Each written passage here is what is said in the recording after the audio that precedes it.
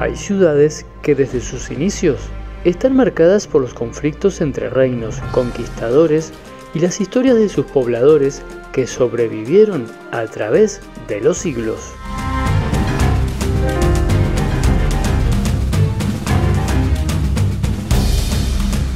Nos encontramos en Colonia del Sacramento, una ciudad que estuvo disputada entre españoles y portugueses por más de un siglo. Una ciudad que tiene muchísima historia llena de misterios. En 1516, el navegante y explorador europeo Juan Díaz de Solís descubre el Río de la Plata. La colonización se orientó a los territorios de la ciudad de Santa María del Buen Aire, hoy en día Buenos Aires, y a la fundación de la ciudad de Asunción, capital del Paraguay, quedando así despoblados los territorios situados al este del río Uruguay. España y Portugal tenían muchos conflictos para delimitar las fronteras de sus respectivos dominios en la costa atlántica de América del Sur.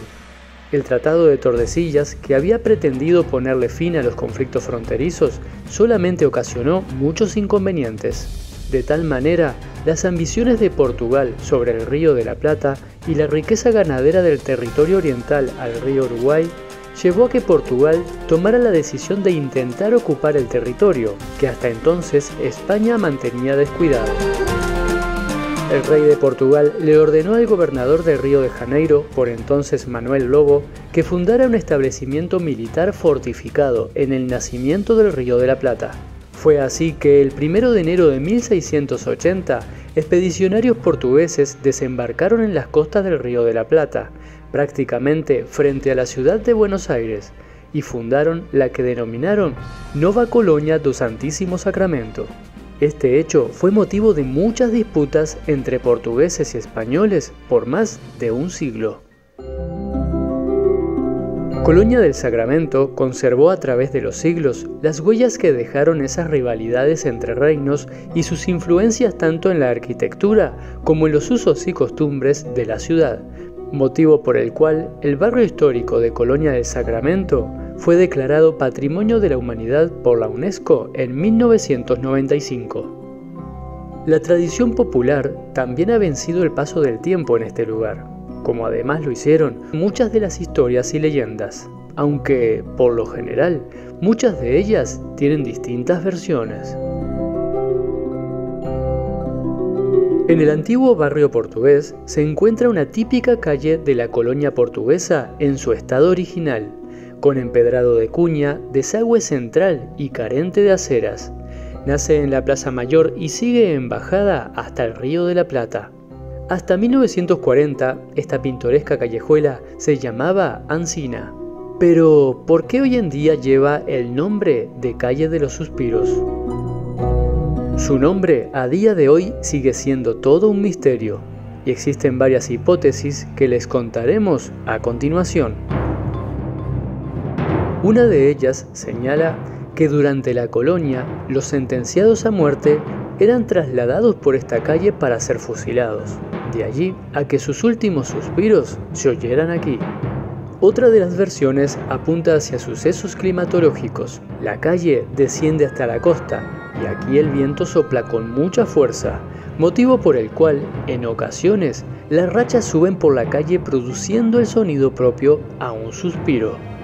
En otras épocas, las lavanderas bajaban hacia el río por esta calle que está al lado de las murallas defensivas de la ciudad, zona en la que habitaban los soldados. Sin lugar a dudas, es posible que muchos amores nacieran junto al río. Se cuenta que una noche de verano, una joven esperaba en la esquina de esta calle a su amado, pero que sorpresivamente un enmascarado le clavó una daga certera de muerte en el medio del pecho.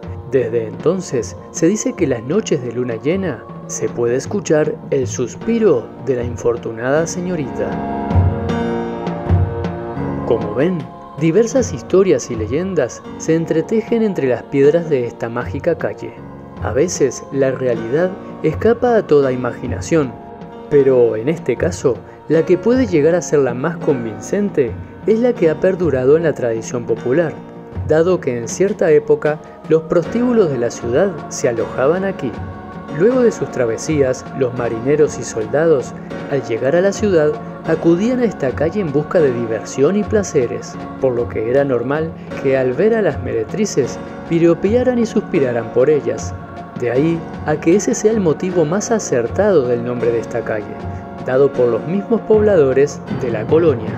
Hoy en día esta calle pasó a ser la más típica y visitada de Colonia del Sacramento, tal vez, gracias a su marginación en otras épocas, pudo conservar todo el encanto y perfil colonial. Pero hasta 1940 se llamó Calle Encina. Fue entonces cuando una resolución municipal propuso que se le devolviera su clásica denominación mantenida por la tradición popular, Calle de los Suspiros. Sin dudas, las huellas del tiempo y la magia de sus misterios nos seguirán cautivando a través de los tiempos.